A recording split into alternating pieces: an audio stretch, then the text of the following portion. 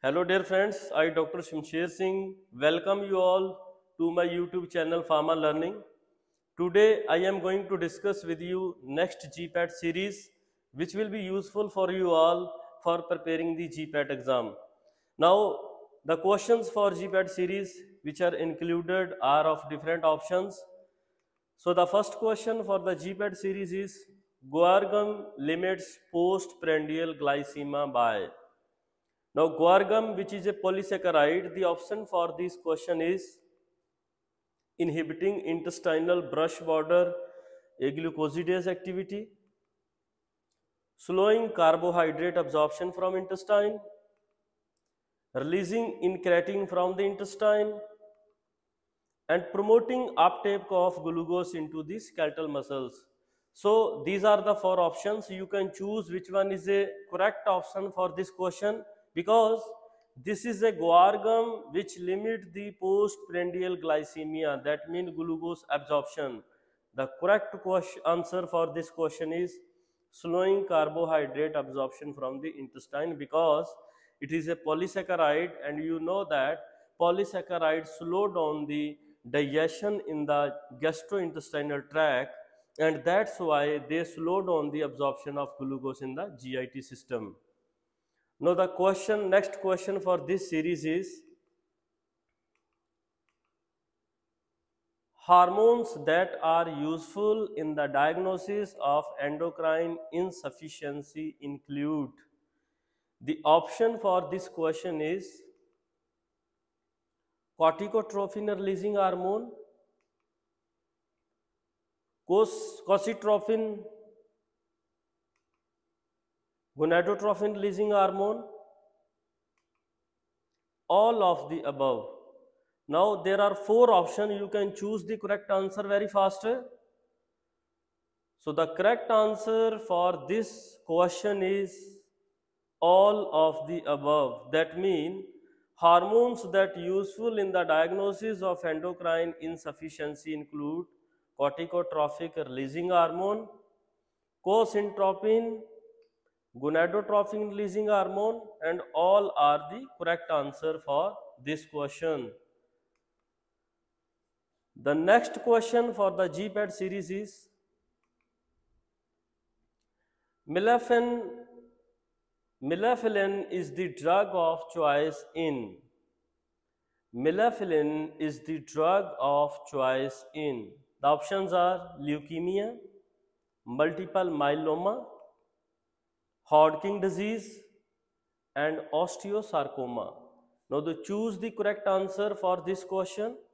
Which will be the correct answer for this question? The correct answer is multiple myeloma because this melphalan which is a alkylating agent which is useful for the treatment of cancer and it is used for the treatment of multiple myeloma and this is a choice for this particular problem. Now the next question for this series in the Pharma Learning channel is Rifampicin has gained significance in antitubercular therapy because I will again repeat the question. Rifampicin has gained significance in antituber therapy because the option for this question is it is the cheapest and effective drug as anti-TB. It is least toxic, so suitable for chronic use. It potentiates the anti-tubercular effect of other drugs and it has reduced the duration of anti-tubercular therapy. Now you can comment the correct answer in the box or you can choose the correct answer for this question. The correct answer for this question is it has reduced the duration of anti-tubercular therapy because rifampicin metabolites they stay in the blood for a long time and is effective therapy for the treatment of tuberculosis which is very useful drug and you know that there is a, another instance with rifampicin and isoniazid that rifampicin never administered with the isoniazid because they interfere with the metabolism of each other. So this is the second option which I have added in this question. Now the next question for this series in the Pharma Learning channel is which of the following cannot be treated with Danazol? The question is which of the following cannot be treated with Danazol? The options are endometriosis, menorrhagia, fibrocystic disease, and hirsutism. The option for this question is endometriosis, menorrhagia, fibrocystic disease, and hirsutism. You can choose the correct answer for this of question. The correct answer for this question is hirsutism.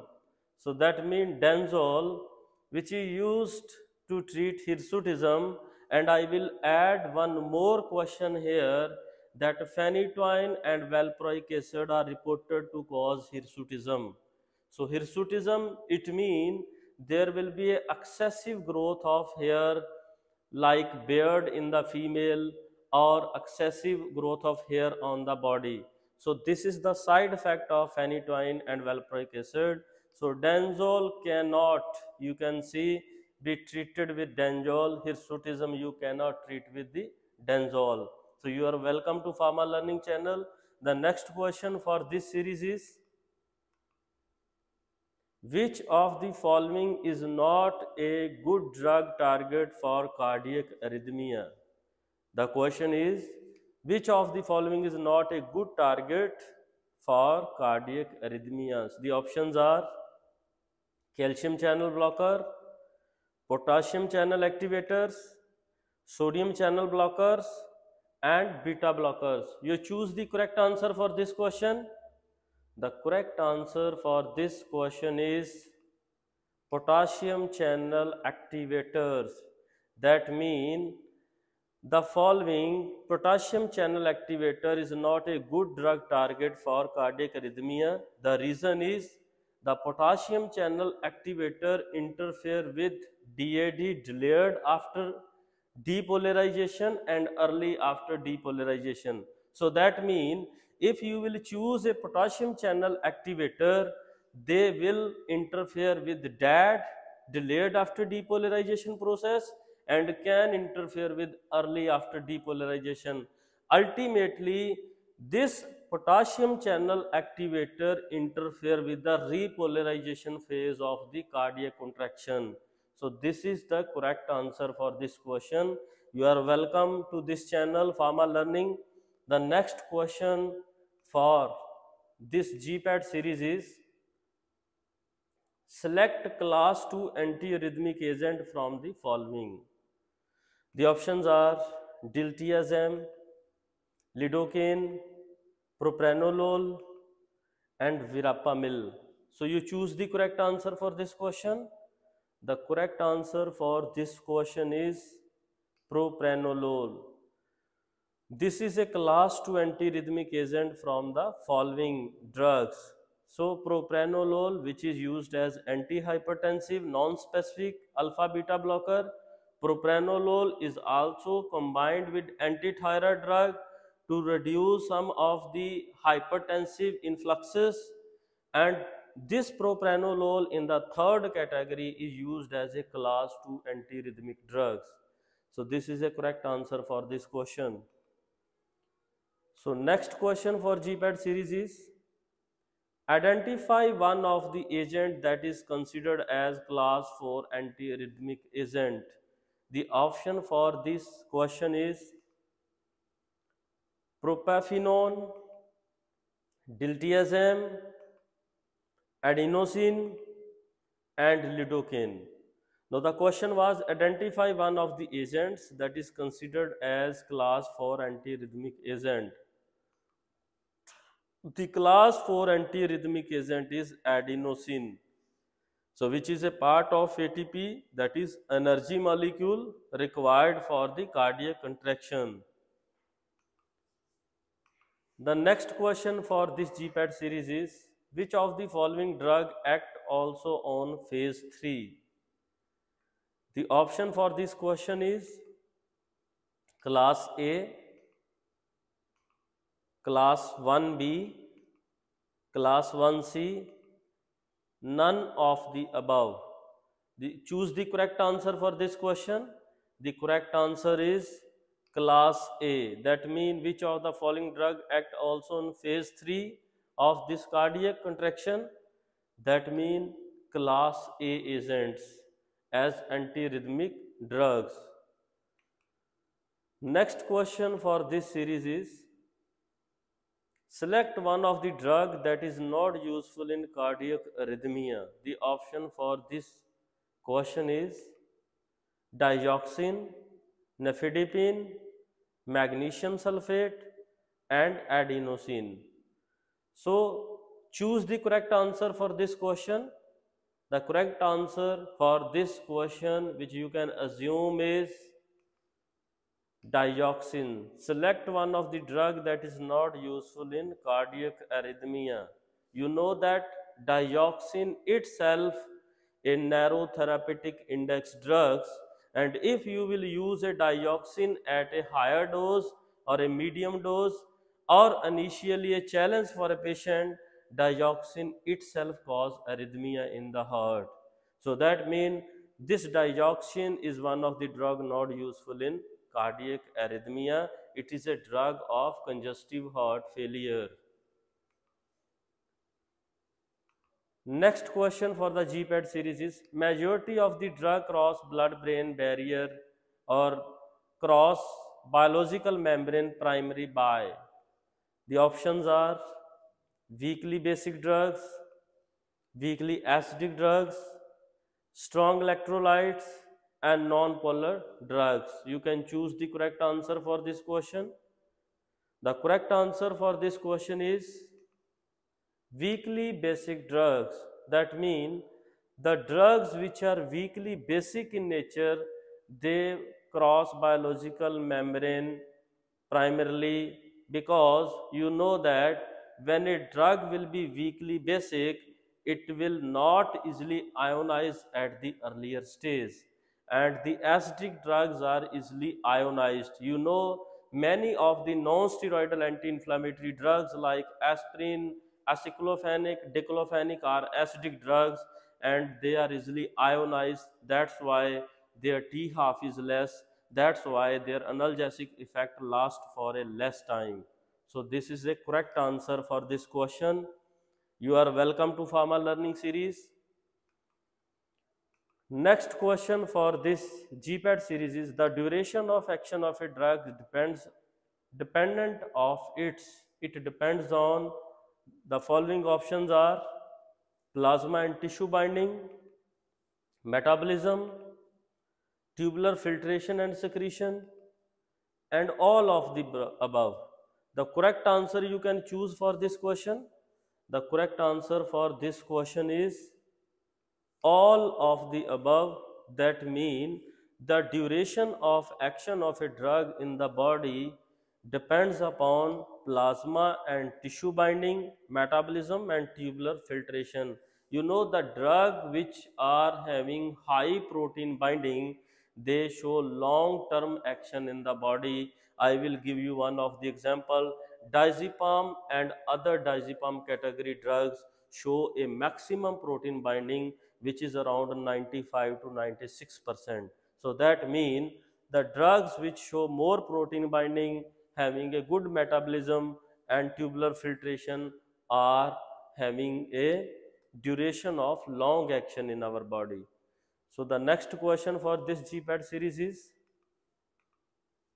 the rate of drug absorption is greatest in the rate of drug absorption is greatest in the options are small intestine large intestine stomach and liver Choose the correct answer for this question.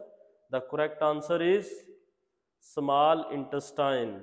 The reason behind most of the drugs which are basic and weakly basic drugs, they absorb from the intestine and acidic drug absorbs from the stomach side. So acid repel acid, weak repel uh, base repel the base.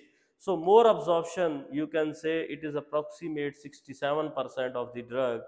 They are showing better absorption from the small intestine. So the next question in the Pharma Learning GPAT series is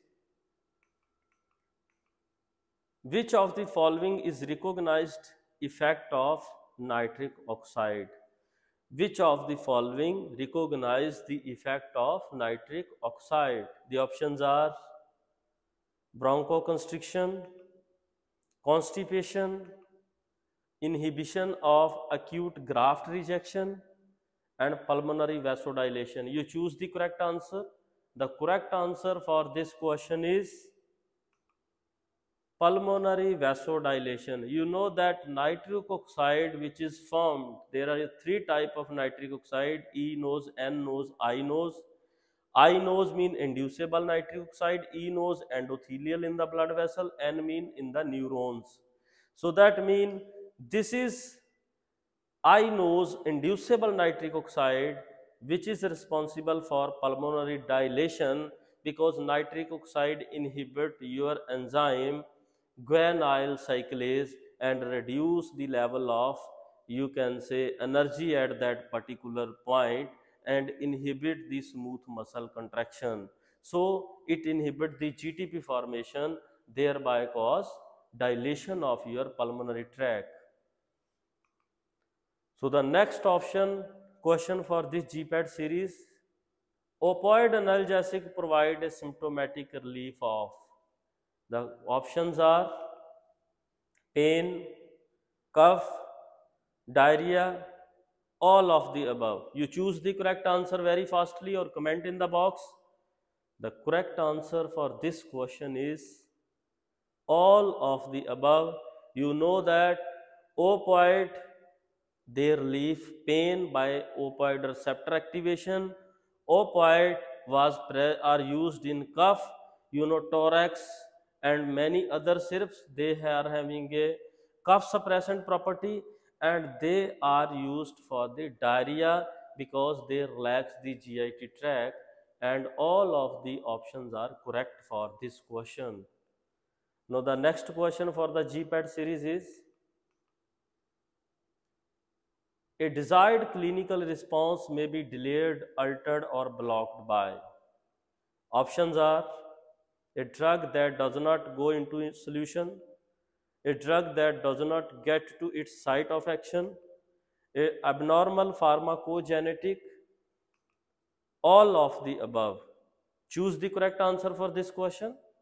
The correct answer for this question is all of the above. It means if you know that clinical response can be delayed, altered or blocked by either your drug is not present in the blood either your drug is not converted into its metabolite and either due to some genetic variations your drug is not effective at the active site. I will give you example. Levodopa is not equally effective worldwide. So that's why somewhere used levodopa somewhere used levodopa carbidopa and somewhere used levodopa carbidopa entacapone so this is the correct answer that all of the options are correct. The next question for this GPAT series is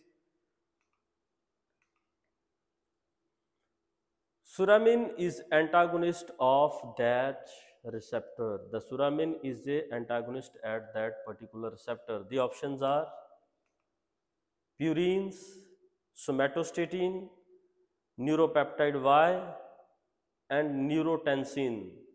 Choose the correct answer for this question. The correct answer for this question is purine antagonist.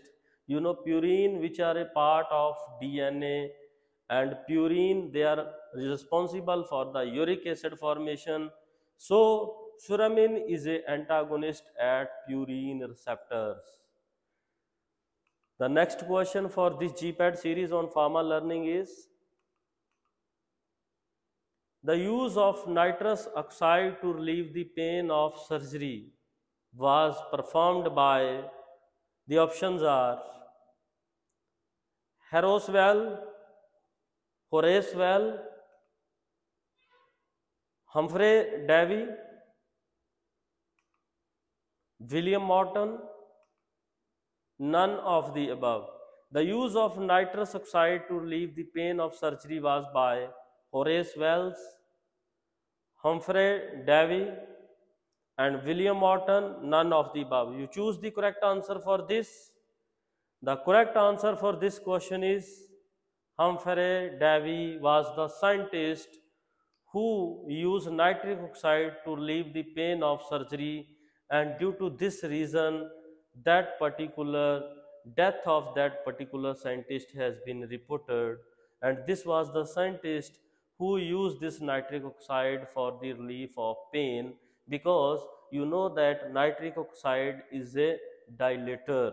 So that's why he was thinking that dilation could be responsible for slow downing the brain stimuli. So this is a correct answer for this question. The next question for this series is Gray baby syndrome is associated with the options are chloramphenicol, gentamicin, tetracycline and ciprofloxacin. Choose the correct answer for this question. The correct answer is chloramphenicol. You know that chloramphenicol that is responsible for changing hemoglobin to methemoglobin and once the hemoglobin in the RBCs of the baby is changed with the methemoglobin, it give a blue color to the body and that blue color is responsible for bluish gray body syndrome in the body. So this is the property of the chloramphenicol. So it is avoided in the small children's. Now the next question and the last question for the GPAT series in the Pharma Learning channel is Which of the following drug produces diarrhea as one of the important side effect? The options are linezolid, clindamycin, vancomycin, ciprofloxacin. You choose the correct answer very fastly. The correct answer for this question is clindamycin. Clindamycin cause diarrhea as one of the side effect because whenever you administer clindamycin it alter your GIT motility and is responsible for producing diarrhea in the patient. So you all of you are welcome to our pharma learning channel and you can get a lot of question in the coming lecture. You all are welcome. Thank you very much.